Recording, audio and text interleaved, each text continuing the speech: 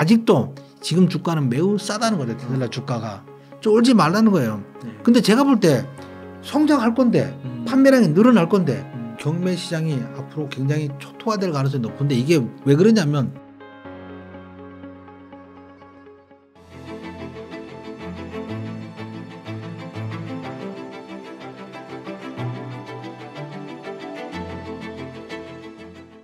테슬라 그 뉴스 중에 좋은 거는 최근에 못 본 것 같아요. 뭐 아까 전기차 수요 둔화 네. 뭐 이런 것도 있고 시- 스스로 일론 머스크가 너무 괴롭다고 얘기도 했고 예. 그다음에 뭐 유대인 반유대인 댓글 홍역 문제도 있고 그런데 예.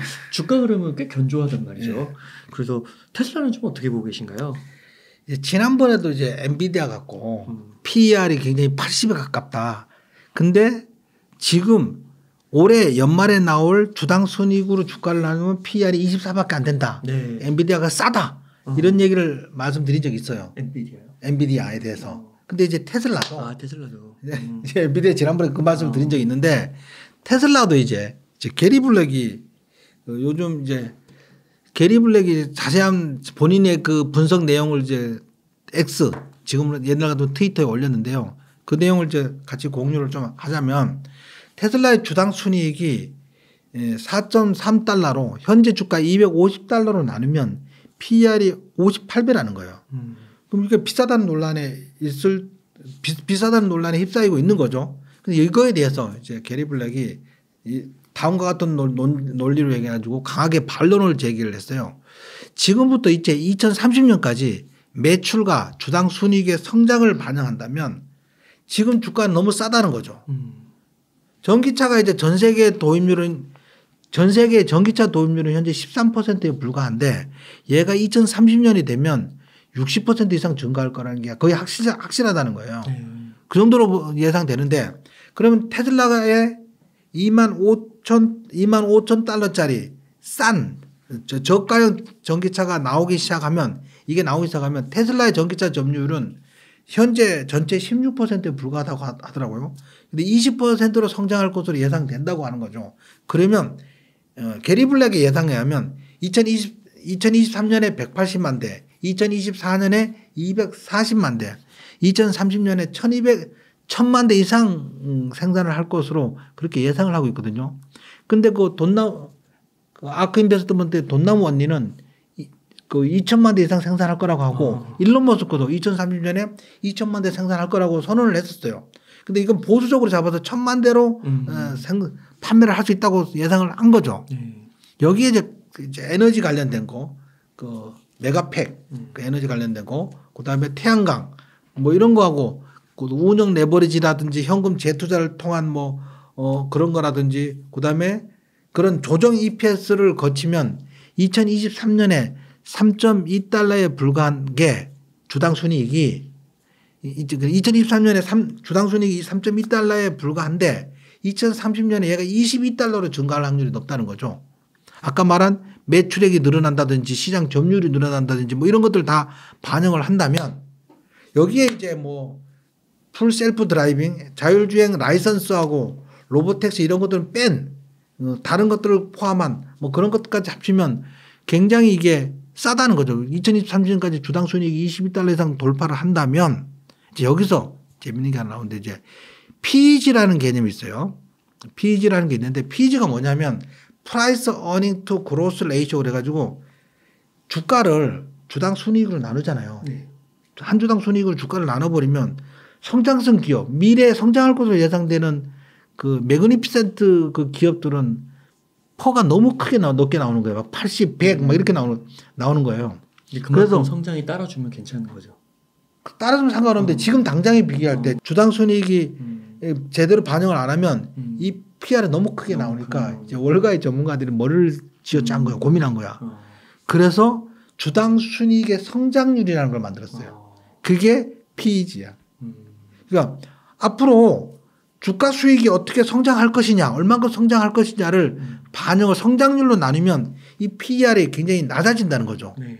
이 그림에 보면 이제 매그니피센트 세븐의 PEG 레이쇼인데 비율인데 이걸로 따지면 주가 주당 순이익 성장률을 반영을 하면 PEG가 애플이 3.0, 음. 마이크로소프트가 2.4, 테슬라가 1.6, 아마존이 1.4, 엔비디아가 1.3. 아직도 무지 싸다는 거지 얘가. 음, 저건 낮을수록 좋은 거죠. 그 낮을수록 좋은 거예요. 아. 낮을수록. 이게 이제 이제 그럼 성장률 예측이 근데 이거 PEG의 단점은 이제 성장률 예측이 얼만큼 음, 정확한가 뭐 그거에 대한 고민이 있는데 음, 테슬라에 대해서는 말씀 이 사람이 그렇게 얘기했잖아요. 자동차 판매 매출액 늘어날 거. 음, 전 지금 시, 전기차가 시중에 13%인데 전기차 보급률이 2030년까지 60%로 늘어날 거다. 음, 그 안에 테슬라의 시장 점유율이 늘어날 거다. 네. 지금 180 올해 180만 대인데 2030년대에는 1000만 대 이상 늘어날 거다. 음. 이건 가능성 있는 예측치니까 이게 보수적으로 잡은 거. 보수적으로 잡은 거예요. 굉장히 네. 이 사람 굉장히 보수적으로 잡은 거예요. 네. 뻥은 제대로 치는 사람은 아크 인베스트먼트 음. 아크 인베스트먼트 돈 나무 언니 어, 200만 그 언니는 뻥 확실히 쳐버려 그냥 어. 뻥을 치려면 그래 쳐야 되는데 어. 이분은 이제 보수적으로 잡은 건데 음. 그렇게 잡아서 성장을 하면 아직도 지금 주가는 매우 싸다는 거죠 테슬라 어. 주가가 쫄지 말라는 거예요. 네. 근데 제가 볼 때 성장할 건데 음. 판매량이 늘어날 건데 음. 생산량이 늘어날 텐데 전기차 보급률이 늘어날 텐데 당연히 지금 주가는 싸죠. 음. 테슬라 가지고 무서워할 거 없고요. 어. 엔비디아로 무서워할 거 없습니다. 그럼 무서워하면 주식 투자 못 하고 이제 1년에 3%짜리 은행 예금해야죠. 음. 이 정도는 그러면 약간 이런 건 질문 있을 것 같아요. 2030년이니까 좀 너무 멀잖아요. 안 멀죠. 그러니까 중간에 예. 뭐좀 변수들이 그래도 막 무슨 뭐 코로나급까지는 아니더라도 막 그런 큰 변수들이 있어서 주가가 되게 출렁출렁할 수 있을 수도 있잖아요. 아무리 출렁해도요. 네.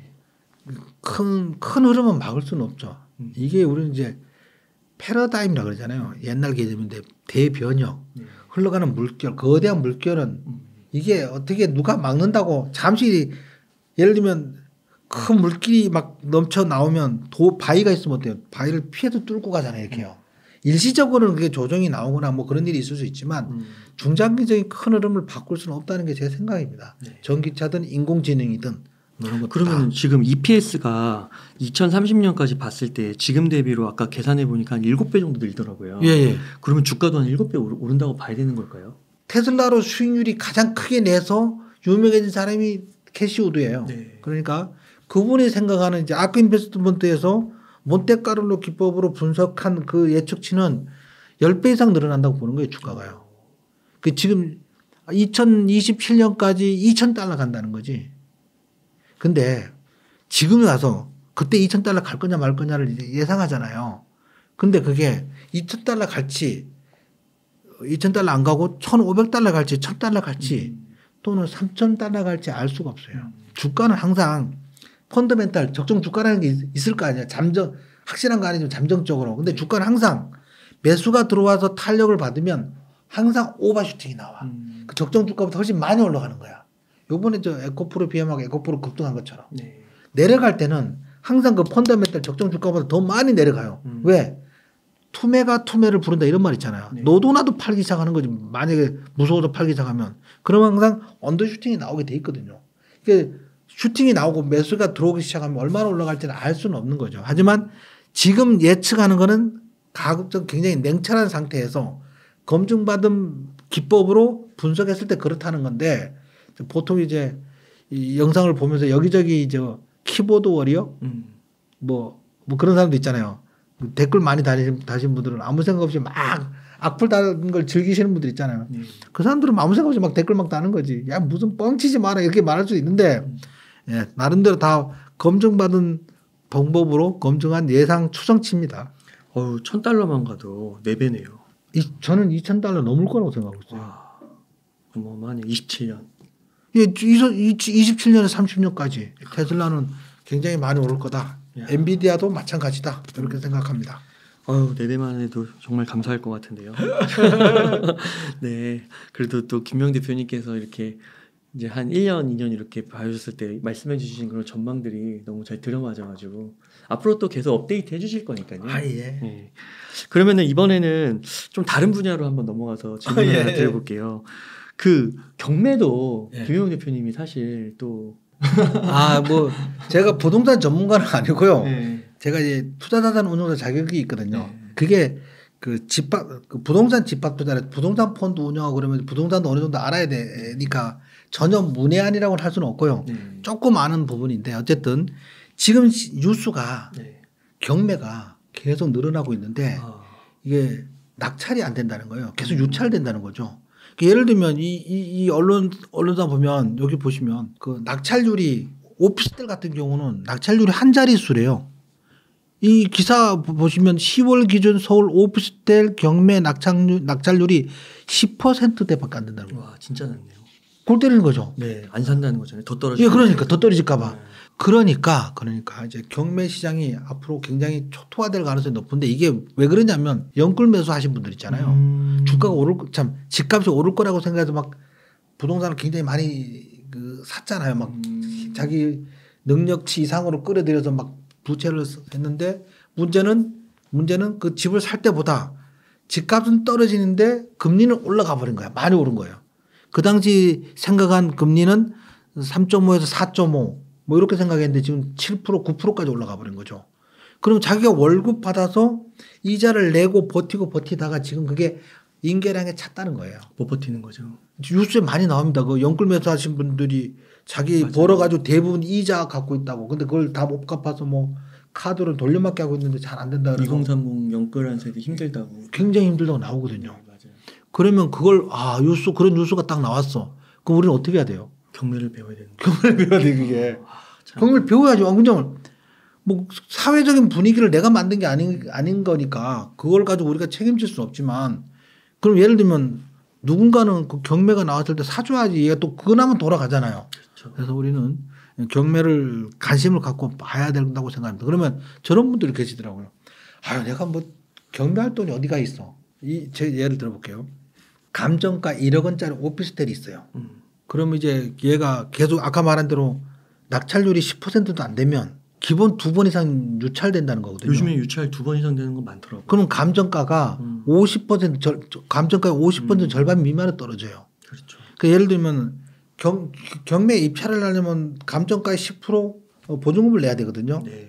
그러면 이제 그 보증금을 10%를 천만 원을 넣었어. 음. 그러면 두 번 유찰된 거를 만약에 5천만 원에 낙찰 받았다고 칠게요. 네. 근데 이거는 그 경매 받은 낙찰은 은행에서 90%까지 대출해줘요. 왜 그러냐면 어차피 낮아진 가격으로 한 거니까 그게 90%까지 대출을 해줘도 얘가 저거 한 거니까. 그러면 4천만 원을 대출을 받아 사면 이, 대- 이 금리가 조- 서로 조금 비싸다고 치더라도 네. 비싸다고 치더라도 이 4천만 원 대출은 대출은 4천만 원인데 이걸 낙찰을 받아서 보증금의 월세를 받는다면 네. 보증금을 받고 월세를 받는다면 당연히 보증금 천만 원 낸 건 당연히 그 이상 뽑을 거고요. 네. 월세를 받으면 이 월세가 월세는 감정가 1억 원에 대한 월세잖아요. 음. 대출은 금리가 비싸다고 쳐도 4천만 원에 대한 대출인데 월세는 1억 원에 대한 대출 대출이다 보니까 월세를 받는 걸로 원금과 이자를 충분히 갖고도 남는다는 거지. 네.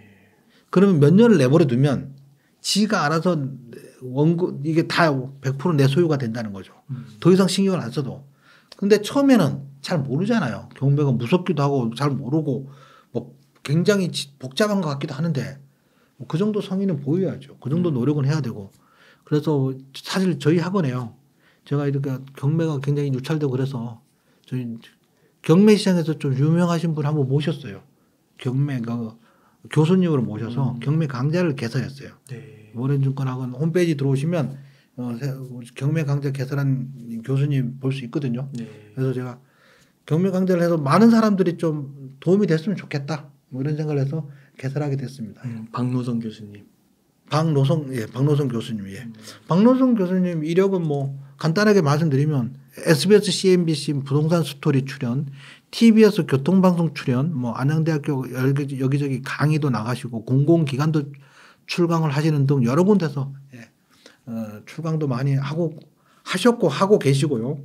그다음에 이제 각종 한국 경제 신문이나 뭐 한겨레 신문, 헤럴드 경제 신문 이런 여러 어, 경 경제 신문에 경매 관련 칼럼도 이제 내고 뭐 그러신 분이십니다. 음. 그런 분이 강의를 하시는 거니까 관심 있으신 분은 아래 더보기 확인하셔서 연락 주시기 바랍니다. 네.